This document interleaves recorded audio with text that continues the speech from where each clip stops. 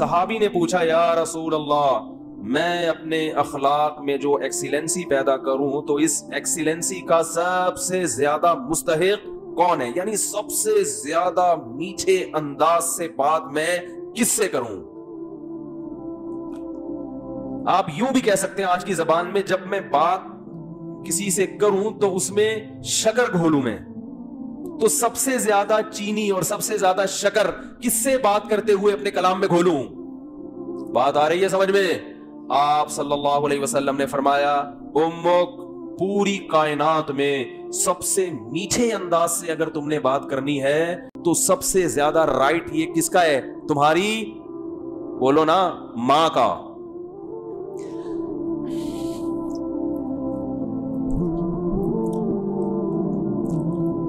सहाबी ने अर्ज़ किया, या रसूल अल्लाह क्या अंदाज है? फरमाया, फुम्मा मन। फुम्मा का मतलब होता है उसके बाद। फुम्मा मन। या रसूल अल्लाह माँ के बाद दूसरे नंबर पर। मीठे अंदाज से, अच्छे अंदाज से बात करना किसका हक है कि मैं उससे अच्छे अंदाज से बात करूँ? माँ के बाद। माँ का तो पता चल गया।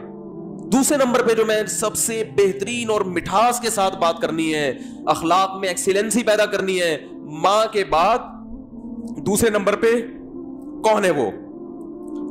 तो आप सल्लल्लाहु अलैहि वसल्लम ने क्या जवाब दिया? फरमाया, उम्मुख। माँ के बाद दूसरा नंबर भी किसका है? बोलो भाई। क्या अजीब अंदाज है। हालाँकि ये आम उर्फ़ के मुताबिक, जवाब, सवाल के मुताबिक, बोलो भाई, नहीं है। मुझसे अगर कोई पूछे कि सबसे बड़ा हक किसका, मैं कहूँ माँ का, वो क्या उसके बाद किसका? तो मैं कहूँ माँ का, वो कह मैं मैं उसके बाद का पूछ रहा हूँ, उसका थोड़ी पूछ रहा हूँ। तो ये सरसरी निगाह से देखा जाए तो ये बलागत वाला कलाम नहीं है।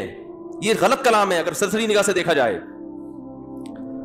क्योंकि हम पूछ रहे हैं कि उसके बाद। माँ तो पता चल गया, माँ के बाद उसके अलावा बताएँ आप। लेकिन नबी दोबारा किसका नाम ले रहे हैं? ये सरसरी नज़र में ये कलाम बलीग नहीं है, लेकिन हकीकत में ये बलागत के ये बलागत के आला मैार पे पहुँचा हुआ कलाम है। क्योंकि बात को दिल में उतारने का इससे बेहतर तरीका नहीं हो सकता था कि माँ के बाद दूसरा नंबर भी किसका है? माँ का। इसका मतलब क्या है? कि माँ के बाद अगर तुम ये समझते हो कि किसी से बहुत ही मीठे अंदाज में बात करनी है तो ये हक दोबारा माँ को दे दो। दोबारा किसको दे दो? सहाबी ने फिर पूछा, या रसूल अल्लाह सुम्मा मन? देखो, सहाबी का अंदाज भी क्या है? वो, चूँकि उनको यह था कि मुझे माँ के अलावा आप चाहिए कि कौन है, और नबी ने दोबारा किसका नाम ले लिया? माँ का। लिहाजा सहाबी ने फिर अपने सवाल को रिपीट किया, क्योंकि वो ये समझते थे कि मुझे मेरे सवाल का जवाब नहीं मिला। तो उन्होंने तीसरी दफ़ा पूछा, या रसूल अल्लाह सुम्मा सुम्मा मन? या रसूल अल्लाह तीसरे तीसरे नंबर पे कौन है? तो आप सल्लल्लाहु अलैहि वसल्लम ने फरमाया, उम्मुक। तीसरे पे भी कौन है? बोलो भाई।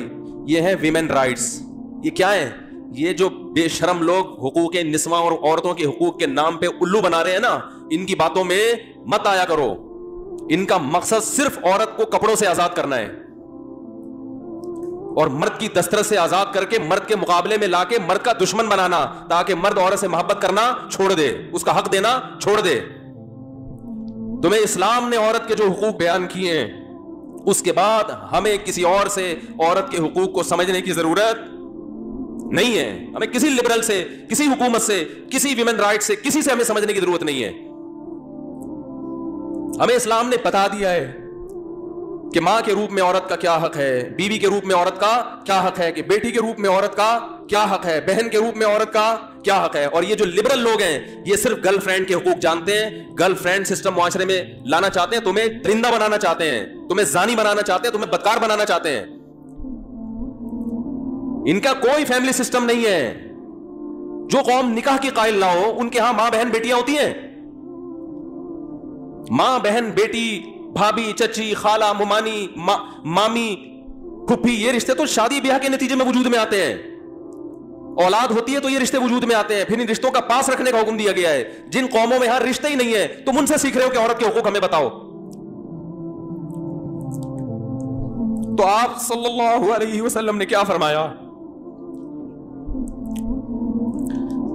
तीसरे नंबर पे किसका हक है? बोलो भाई, माँ का।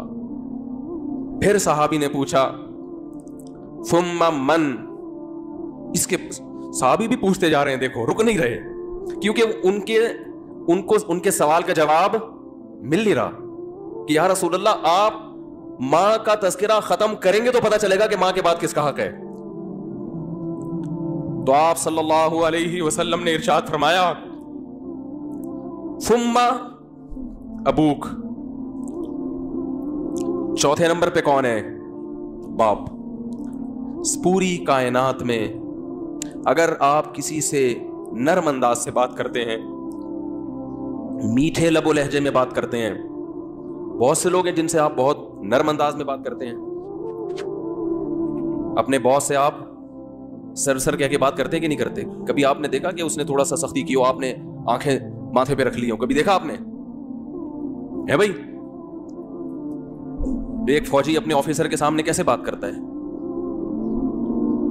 आपने देखा कभी वो अबे तबे से बात कर रहा हो? है? मैं किसी की नहीं सुनता। मेरी अपना लाइफ स्टाइल है।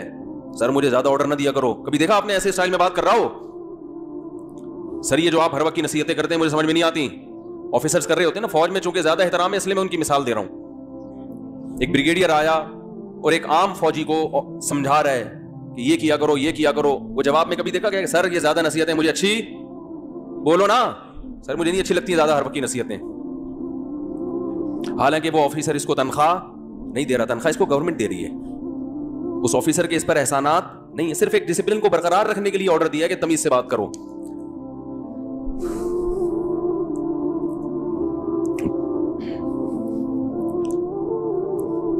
उसने आपके लिए कुर्बानियाँ दी हैं।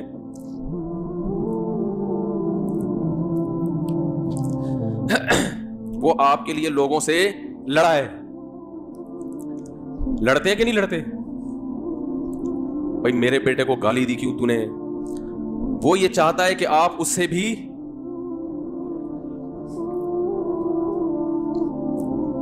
आप उससे आगे चले जाएँ। आपकी माँ ने जो आपको बचपन में मोहब्बत से पाला इज़्ज़त के साथ तो माँ को ये शेल्टर किसने दिया? है भाई, बाप ने। बाप अगर ना शेल्टर देता, वो इतनी मोहब्बत के साथ नहीं पालती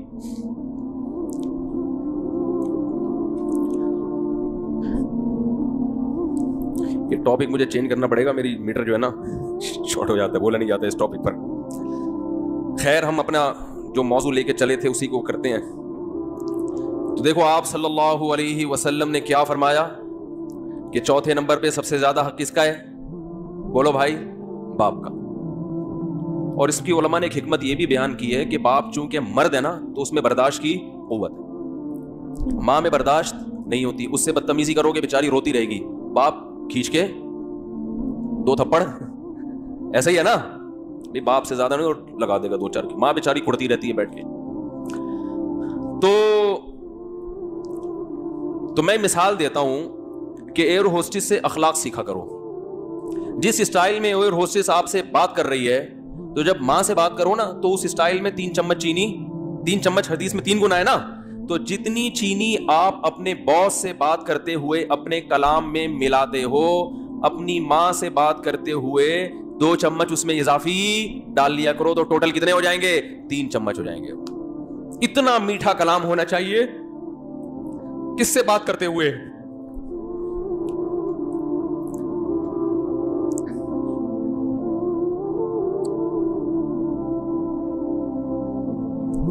हमने बड़े बड़े ओलमा को देखा है।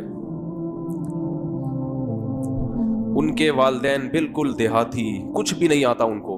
बिल्कुल गंवार, ना बात करने की तमीज, ना उठने बैठने की तमीज। लेकिन बेटे बन गए बहुत बड़े आलिम, अल्लाह ने बड़ी इज़्ज़त दी। लेकिन वो अपने बाप का ऐसा एहतराम करते थे, ऐसा बिछ जाते थे बाप के सामने, हमने अपनी आँखों से देखा है। कि लगता ही नहीं था कि ये कोई क्या आलिम है, कोई मुफ्ती है, कोई बुज़ुर्ग है। तो क्योंकि जज्बात साथ नहीं दे रहे, वरना ऐसे कुछ वाकयात आपको सुनाता। भाई, अल्लाह का हुक्म हमारे लिए क्या है? काफ़ी है।